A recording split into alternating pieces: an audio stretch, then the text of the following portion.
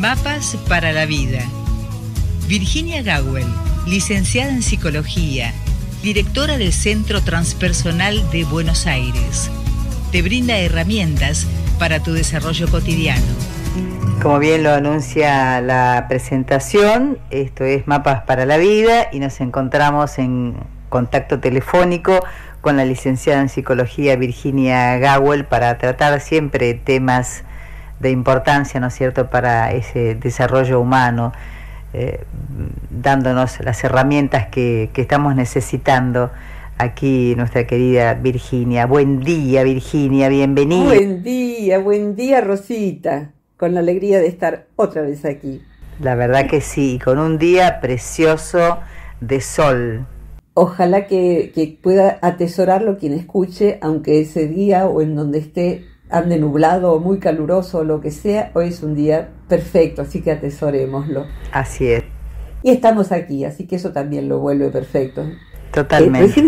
Eh, recién, estaba mirando, Rosita, las últimas columnas que subimos, siempre sobre temas diferentes.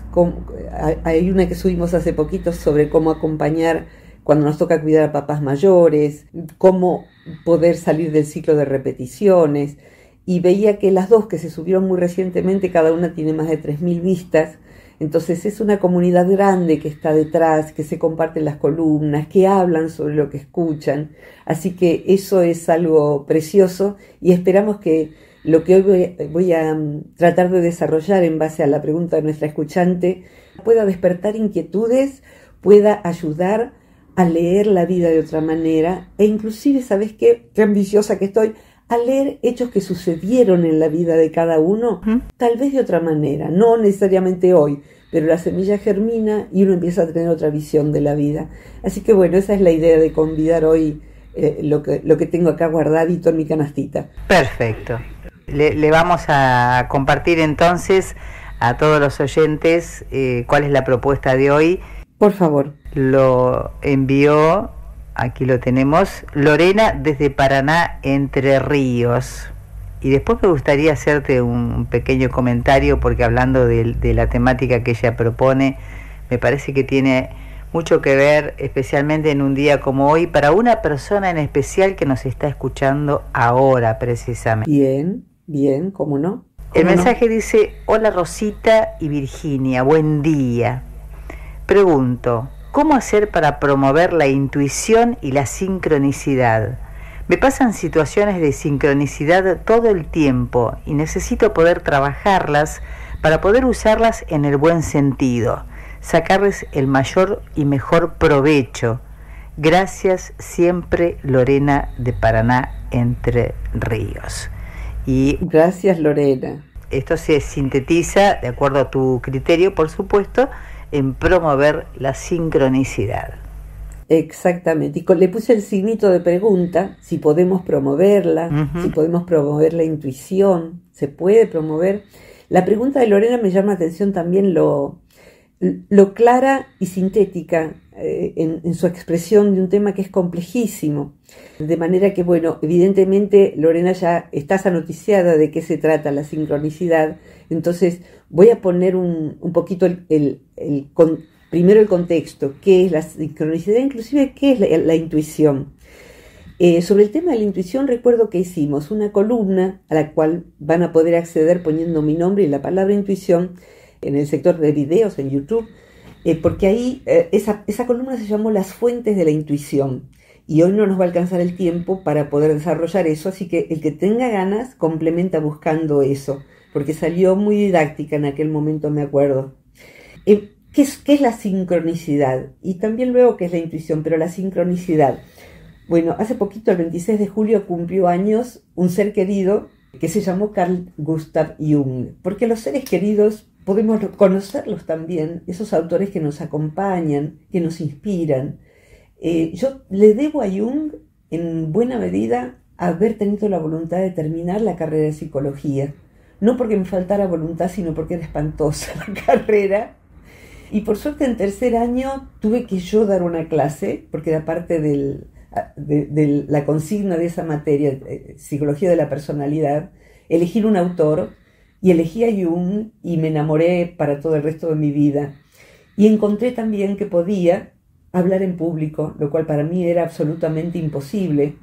Y encontré que mientras les contaba a mis compañeros, ante mi profesora, por qué había elegido Jung y sus principales ideas, todos prestaron atención. Seguramente no porque fuera brillante lo que yo decía, sino porque era brillante lo que decía Jung y porque yo estaba enamoradísima de sus ideas y lo sigo estando. Así como otras cosas me llamaron la atención temporariamente, Jung se quedó para siempre.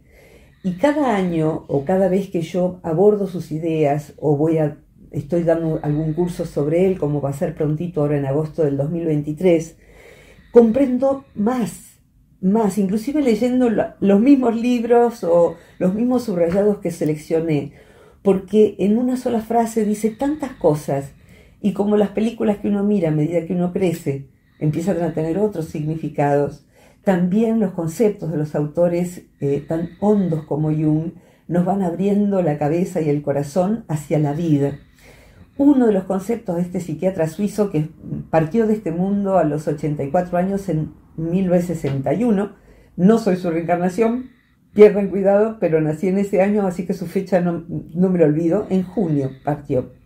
Se fue dejando tanta, tanta, tanta, tanta cosa que para poder comprenderlo hace falta haber leído mucho, estudiado mucho a Jung y a los autores sobre Jung. Pero hoy quisiera hacerlo lo más simple posible en este contexto, que es la sincronicidad.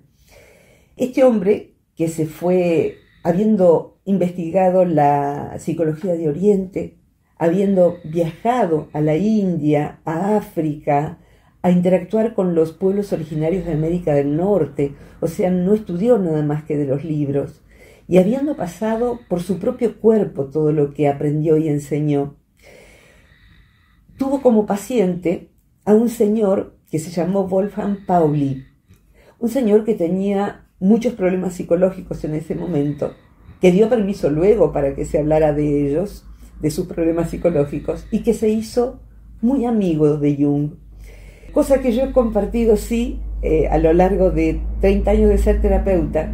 Muchas de mis mejores amigas de este tiempo mío son, son, fueron pacientes míos en su momento. O sea que, dada el alta y el tiempo transcurrido, eh, nos elegimos mutuamente ya como amigas y bueno, hoy que no soy terapeuta sino docente, ahí estamos con las vidas entrelazadas tan alegremente. Salvando las distancias en aquel momento, Jung tejió un vínculo de amistad y de mutua colaboración con este físico, que era un tipo rarísimo, con un carácter muy tremendo, porque a veces ser genial es muy complicado y lo fue para este hombre en aquel momento. Y además de físico, fue premio Nobel de Física. Juntos, Jung y Pauli, premio Nobel de Física, eh, iniciador de lo que era la física cuántica, de la cual hoy se habla mucho, pero fíjate, estamos hablando de los años 40, de 1940 más o menos, Jung se dio cuenta de que solamente de la mano de un científico como él, de lo que llamamos las ciencias duras, o sea que no hay delirio, ahí hay medición, hay cálculo, hay matemática, ahí él iba a poder investigar el tema que Lorena nos plantea, que llamaron juntos sincronicidad y que refiere a eventos, dos o más eventos, que coincidiendo en el tiempo, nos hablan de un significado mayor y de que no se trata de azar, no se trata de casualidad, o sea, por orden de azar y azares matemáticas, esas dos cosas o más cosas no podrían haber sucedido juntas. Entonces están unidas no por causa y efecto, sino por su significado. Hay un significado que no siempre podemos definir con el intelecto, pero el corazón, la intuición, lo no racional, nos queda conmovido y esas coincidencias que no son causales, que no son causales significan que A no causó a B, sino que coinciden. Coinciden, a mí me gusta dibujarlo cuando doy las clases con flechitas que coinciden en un mismo punto. La A, la B, la C y la D. Cada una nace, si quieren, de un punto cardinal diferente, como si fuera una veleta, pero coincidiendo en un punto central. La A viene del norte, la B viene del sur, la C. O sea que cada una causalmente viene de un origen diferente, pero incide en un momento en el tiempo o en un conjunto pequeño de momentos que para quien se da cuenta de esa coincidencia imposible por orden del azar, algo le sucede que trasciende la razón. Voy a dar un ejemplo muy breve, muy breve y muy reciente, porque tengo una colección inmensa de coincidencias porque me interesa igual que a Lorena y porque eh, eh, al interesarme se me evidencia, se me, se me forman frente a mí las sincronicidades como le pasa a Lorena. Tal vez esto que voy a decir lo elija mi inconsciente porque a alguien le va a decir algo. Voy a hacer un asterisco aquí. Con frecuencia, estos eventos sincrónicos, que no son eh, casuales ni causales, o sea, por favor nunca digan, no es casualidad, es causalidad. No, tampoco es causalidad porque no se causan entre sí los hechos, coinciden simplemente de un modo excedente al azar. El hecho es el siguiente. Me encarga un matrimonio que tuvo que irse de Argentina, migrar, no son argentinos, estaban temporariamente aquí. Al tener que decidir irse de aquí, sus dos animalitos, una perrita y un gato, ya mayores, ambos juntos, entran dos semanas antes en un cuadro terminal. Los dos de diferente edad, los dos viejitos, los dos habían venido al país con ellos y para la fecha en que ellos iban a partir, esos animalitos iban a, quedar en el desamparo y no iban a ser adoptados por nadie porque estaban muriendo. Entonces deciden de común acuerdo con, el veterinario de ambos que para ambos era necesario hacer un último gesto compasivo que era o se dice ponerlos a dormir, en realidad el término correcto es eutanasia, que tiene que ser consensuada con el veterinario y que por orden de, de, las leyes de la vida difícilmente podía coincidir entre sí los animales, pero me conta que sí, distintas especies, distintas edades. Y coincidir eso con que ellos dos se fueran a ir de Argentina. Sí. O sea que cuatro días antes, tres, cuatro días antes de que ellos tuvieran el pasaje para partir. Partieron estos dos animalitos con todo el llanto, el amor, la nostalgia, también la certeza de que había que hacerlo, pero no porque se fueran, ¿eh? sino porque, porque ellos se fueran, sino porque era necesario para que no sufrieran de más estos dos animalitos. No quedando nadie aquí, yo me ofrecí a arrojar las cenizas de ellos en un lugar de mi pueblo, les mandé fotos, es un lugar muy verde, y ellos querían ese descanso, puesto que ellos vivían transitoriamente en Buenos Aires en medio del ruido. Cuando recibí las visitas de ellos, las tuve un tiempo aquí, cada una en una cajita primorosa con el nombre de cada uno. Y un día, hace solamente dos semanas, en que yo no estaba bien de salud, no podía siquiera ir a caminar hacia el lugar donde iba, habíamos elegido arrojar las cenizas. Yo dije, es ahora. Y en ese ahora me subí a mi automóvil, siendo que yo voy hasta allá caminando. Me subí con las dos cajitas y fui en automóvil porque tenía febrícula. Podría haber sido otro momento, podría haber esperado, no había ningún apuro, pero fue en ese ahora. O sea, la intuición dijo ahora, lo no racional dijo ahora. Me fui hasta allá, arrojé las cenicitas, filmé el momento y me volví en mi automóvil con las dos cajitas, preguntándome, ¿y ahora qué hago con estas dos cajitas? Tan primorosas, tan bonitas, tan pintadas, tan... Y decidí volver con, volver con mi auto por otra calle, por donde suelo caminar.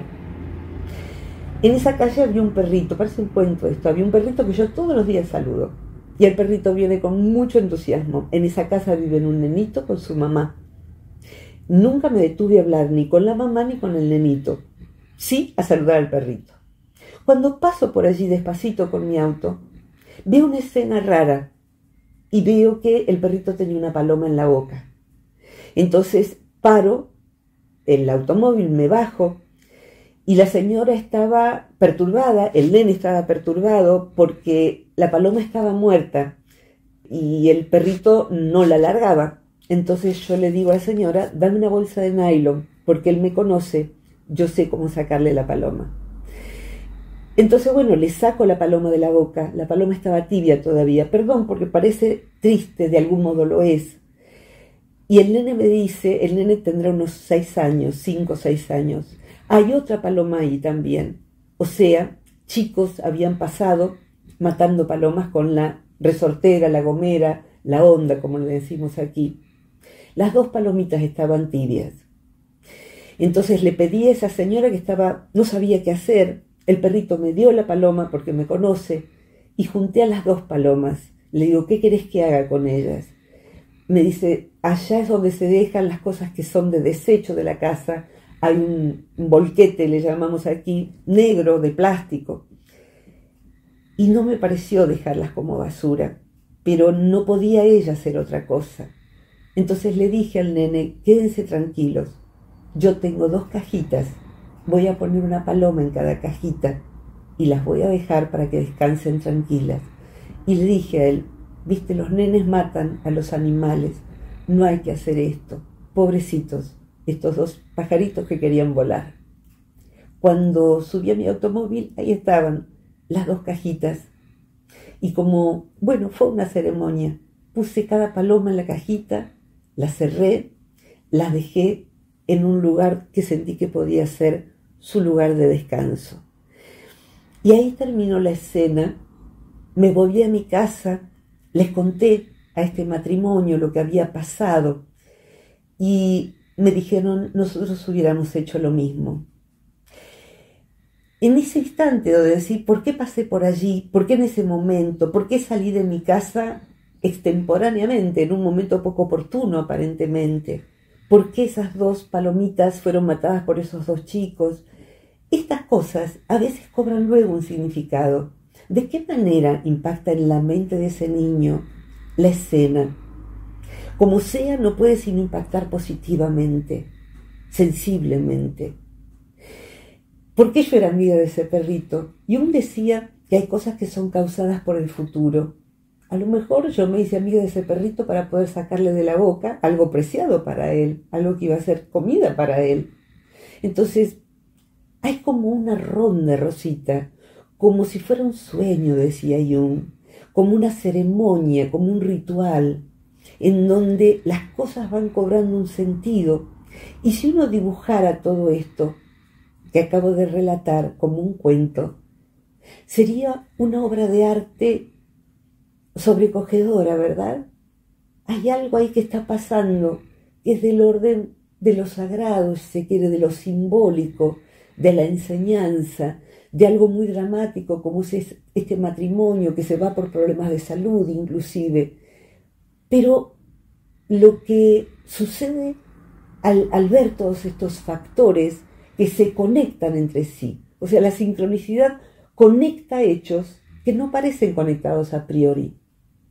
Y en esa conexión nos permite a nosotros, los humanos, asomarnos al misterio, asomarnos a que quizás en ese instante vislumbramos un sentido con mayúscula, un sentido más grande, que no podríamos desde la razón ver, palpar pero que cuando atravesamos el hecho de esas coincidencias significativas, como le llamaron estos dos hombres a las sincronicidades, nos deja una serenidad que no tendríamos bajo protesta. ¿Por qué hay padres que no educan a sus hijos para proteger a la vida en vez de matarla? ¿Por qué estos nenes tuvieron que matar dos palomas? ¿Por qué dos? ¿Por qué no una? ¿Por qué ninguna? ¿Por qué no tres? ¿Por qué estaban esas cajitas? Entonces, cuando uno borda todo eso, se da cuenta desde un lugar no racional, Rosita, de que en, estos, estas coincidencias significativas podemos vislumbrar la figura de un tapiz que vemos siempre del lado de atrás. Del lado de atrás, los hilos que se cruzan no tienen ningún sentido. Las sincronicidades nos permiten vislumbrar que del lado de adelante del tapiz hay un paisaje bordado y que desde atrás Una vez que vimos una sincronicidad, podemos sospechar que donde parece no haberlas, hay algo que le da un sentido y que a lo mejor cuando nos vayamos de este mundo, veremos que nuestra vida y la vida de todos es un tapiz bordado con hilos sincrónicos que estos hombres investigaron y que ese momento en que decimos justo pensé en tal persona y hace tres años que no sé nada de ella y entró un mensaje de esa persona o me lo cruzo por la calle. Hay hechos sincrónicos más sencillos, pero ninguno de ellos es inocente en el sentido de que no signifique nada. Significa algo para que la conciencia se sobrecoja y se asombre. Rosita, ay, qué largo que hablé. Virginia, eh, te voy a tener que pedir un, dos cositas. Por favor. Una, bueno, eh, hacerte una preguntita y, te pediría el favor de que me dieras un, un, par de minutos porque se ve que hay alguien que está queriendo ingresar y me va a tirar la puerta abajo. Ah, sí, sí, claro que sí. ¿Querés ahora y hacemos una pausa o la pregunta? No, te dejo la pregunta. Por favor. Cuando nombramos la sincronicidad, sin duda, como vos lo mencionaste, también se da en hechos dramáticos y hasta trágicos. ¿Cómo puede uno entender de qué manera abordar desde lo personal esa tragedia? Sí, sí, sí. Perfecto, me quedo con la pregunta y entramos en, un ratito de pausa y volvemos con ella, ¿sí? Gracias. Y ahora sí, Virginia, volvemos al aire con este tema que fue, bueno, propuesto por Lorena de Entre Ríos, capital de... Aquí estamos. Sí, sí, tal como lo, lo planteaste, lo que Jung decía es que una sincronicidad pareciera estar aboliendo la noción de adentro afuera es decir, que suceden con frecuencia cuando un movimiento profundo se verifica en la interioridad de una persona y pareciera ser que es tan profundo que en el afuera acontecen hechos ligados a eso que es íntimo, que es interno. Muchas veces las sincronicidades tienen que ver con hechos dramáticos como catástrofes, muertes, accidentes. Uno sigue las pistas a lo que fue pasando y hay coincidencias asombrosas. Eh, otras veces tienen que ver con otras cosas intensas. Mira, me viene por asociación cuando fui a firmar el contrato con Editorial Ateneo para el libro El fin del autoodio en 2019, lo que me sucedió fue en el camino cruzarme con un amigo local, que, o sea, de aquí de donde yo vivo, que es a 80 kilómetros de capital, en un lugar de capital donde yo no voy, yo dejé pasar un auto colorado y cuando lo digo, pero ese es fulano, un amigo muy amigo de toda la vida que incidió mucho en que yo me animara a escribir cuando yo era adolescente, es más grande que yo. Y esa persona después supe, no va nunca a Buenos Aires, pero tuvo una sesión de terapia presencial en vez de online. Y yo lo dejé pasar en un tránsito de, un barrio que ni siquiera estaba abarrotado de coches. Me pareció indicativo de que ese evento, la firma del contrato para un libro que luego tuvo cuatro ediciones y sigue dando vuelta en el mundo, eh, que era auspicioso, dicen los antiguos, ¿no? Como algo que desde el adentro no se sabe cómo, pero no puede ser azar, repercute en el afuera. Entonces, es interesante esta, e, esto que no tan adentro ni tan afuera. Y entender esto y, verlo desde la física cuántica y desde la mirada junguiana es apasionante. Por lo pronto yo trato de volverlo sencillo para mí misma y volcarlo hacia afuera también, aunque no, no tengamos el tiempo hoy para eso. Y cuando menciona también Lorena la, la intuición, básicamente intuición etimológicamente significa ver, mirar adentro, mirar adentro. Ahora, si mirar adentro es un adentro que no termina de estar solamente adentro, sino que cuando me pasa algo adentro, pasa algo afuera, en ciertas cosas, es como que cuando miro afuera, miro adentro, cuando miro adentro, miro afuera. La intuición sería entonces ese saber no racional que me permite ir en el momento apropiado, que me permite abrir un libro y encontrar algo que yo necesito leer, que me permite encontrar a la persona apropiada. No necesariamente esto es una circunstancia feliz, quiero aclarar. A veces la persona apropiada es la persona apropiada para que aprendamos algo doloroso, pero que está lleno de eventos que son coincidencias superadoras del azar. Me gustaría ir, como redondeando este tema, hacia la pregunta nodal de, Lorena, si podemos, eh, cómo hacer para eh, propiciar las sincronicidades y las intuiciones, cómo hacer para que eh, eso acontezca de algún modo más controladamente. Esto es lo que yo decodifico de su, de su planteo. Sacarles mayor y mejor provecho. cómo trabajarlas para usarlas en el buen sentido. Podemos promover, dice ella, la intuición y la sincronicidad. Yo diría que lo que podemos promover es una actitud de indagación hacia la vida. Esto es una actitud de tratar de ver qué la vida me está diciendo. Me gustaría responder con dos dioses griegos. Los griegos decían que había dos dioses de los tiempos. Uno era Cronos, luego Saturno, Cronos está, hay una pintura muy conocida de Cronos en donde se lo representa comiéndose a sus hijos. O sea que Cronos es el tiempo que se come a sus hijos y sus hijos somos nosotros. El tiempo nos va comiendo. Pero, decían los griegos, hay otro dios del tiempo que mide otro tiempo, que es eh, eh, Cronos Saturno, Kairos es el dios de ese otro sentido del tiempo. Kairos se escribe con K e Y. Kairos. ¿Qué es Kairos? Kairos es el momento justo. El momento justo. Uno sale en el momento justo. Dobló en el lugar justo en el momento preciso.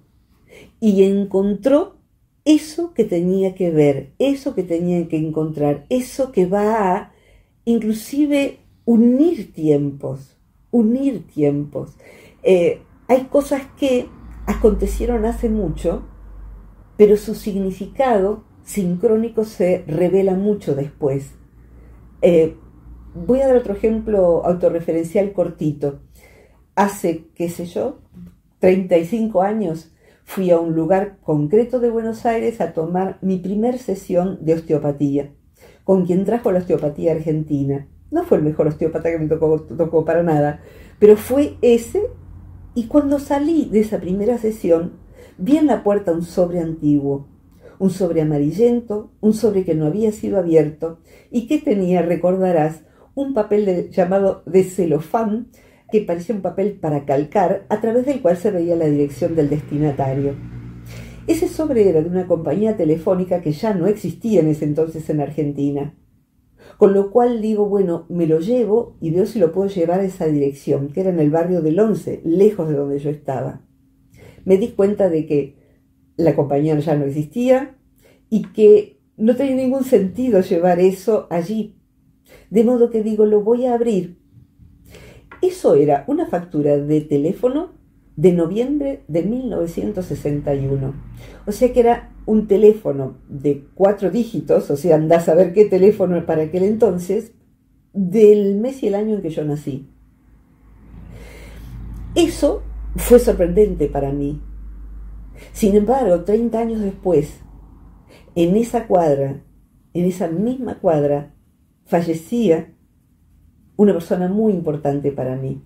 Fallecía de un modo trágico en esa cuadra 30 años después. ¿Cómo se unen estos hechos? El primer hecho no tiene ningún sentido más que un signo de pregunta enorme. Se liga a través del tiempo y da otro significado, como decir, hay un orden, es doloroso, no sé por qué es, no sé cómo es, pero ciertas cosas tenían que pasar para que ciertas otras ocurrieran. Este concepto le gusta mucho a Borges, esto de que ciertas cosas debían pasar para que ciertas otras ocurrieran. Tiene algunos poemas al respecto. Y está hablando, sí, de la sincronicidad, claro que sí.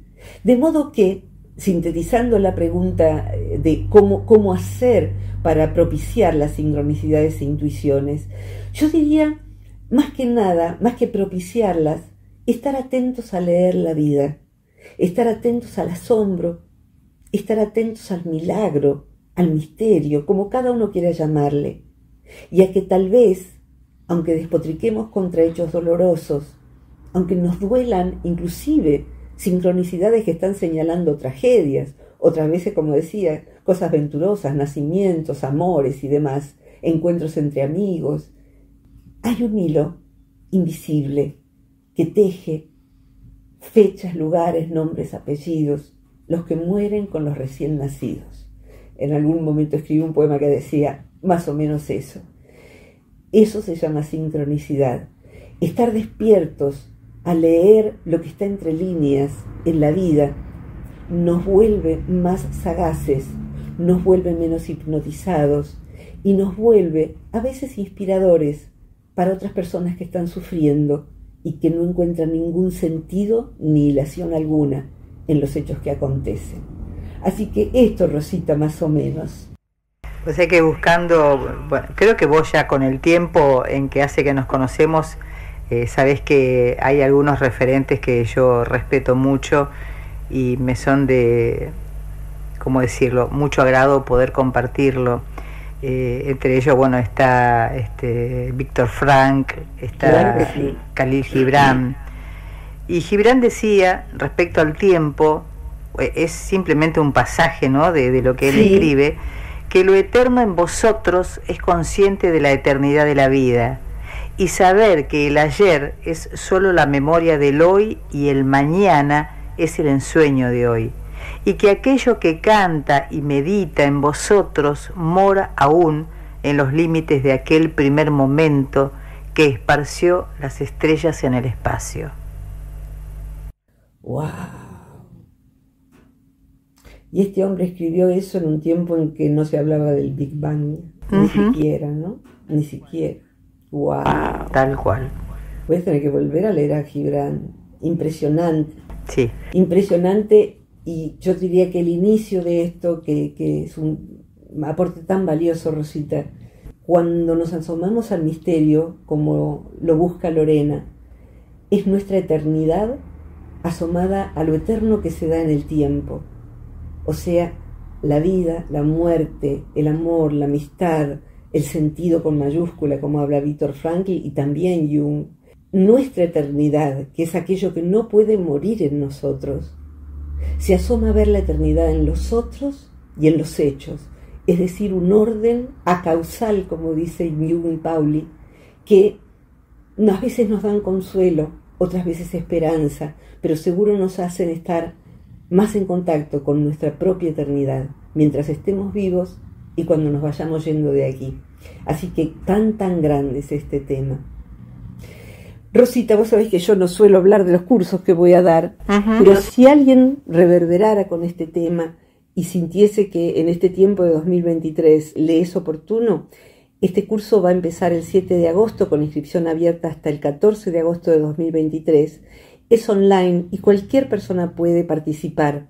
Es emocionante, es apasionante y son estos los temas que vemos como proceso de conocimiento de sí de relectura de nuestra vida y de nuestra biografía, de las personas que tenemos cerca, de nuestros vínculos, y también para poder organizar mejor todo lo que somos y comprender mejor el porvenir y aprovecharlo mejor. Así que bueno, eventualmente van a encontrar sobre esto en la página, en la web del Centro Transpersonal de Buenos Aires. Y si esto es a destiempo, aparentemente, quién sabe si van a encontrar otro curso en otro lugar o u otra vez en el centro, porque lo vamos a volver a dar Dios mediante en el 2025. Así que bueno, ahí queda la botella arrojada al mar, Rosita. Gracias, Virginia. Un abrazo enorme. Gracias, Lorena, por tu pregunta. Gracias, adorado hermano Mario Luis el que hace la edición de sonido de esta columna, y el querido Dante Rodríguez Ragazzini, que prolijamente la sube a Spotify, a todas las redes, y ahí hacemos comunidad en YouTube también y en mi Instagram para poder aprender de esto. Y me va a gustar mucho escuchar las historias de sincronicidades de ustedes y Lorena, la que quieras compartir, va a estar entonces eh, de acá a dos semanas subida a YouTube y a eh, mi Instagram para poder también convidarnos estos asombros. Un abrazo enorme, Rosita querida. Gracias, Virginia. Yo quisiera agradecer también en nombre mío, porque sé que me, sé parte del equipo, a, todo el resto del equipo que conforma el Centro Transpersonal. Muchas gracias, sos parte del equipo, absolutamente. Un abrazo enorme, hasta pronto. Buena semana. Igualmente, muchos cariños. Gracias, Virginia. Virginia Gawel entonces compartiendo con nosotros esta mañana, tratando de darle el abordaje, digamos, a esta, eh, a esta inquietud propuesta por Lorena desde la provincia de Entre Ríos, puntualmente de Paraná, eh, la sincronicidad y la intuición. Gracias Lorena, te mandamos un gran abrazo y ojalá que todos quieran de alguna forma eh, ser parte, ¿no es cierto?, de, esta gran familia que se ha conformado desde hace tantos años y que forman parte de esto que Mm, tiene un nombre y que precisamente ya está llegando a su final, no sin antes recordarles que para aquel que quiera plantear alguna inquietud, algún tema, lo puede hacer al más 549 2323 52 64 97. 2323 52 64 97. Y ahora sí llegamos al final por hoy de Mapas para la vida. Gracias a Virginia Gowell y gracias a todos los oyentes.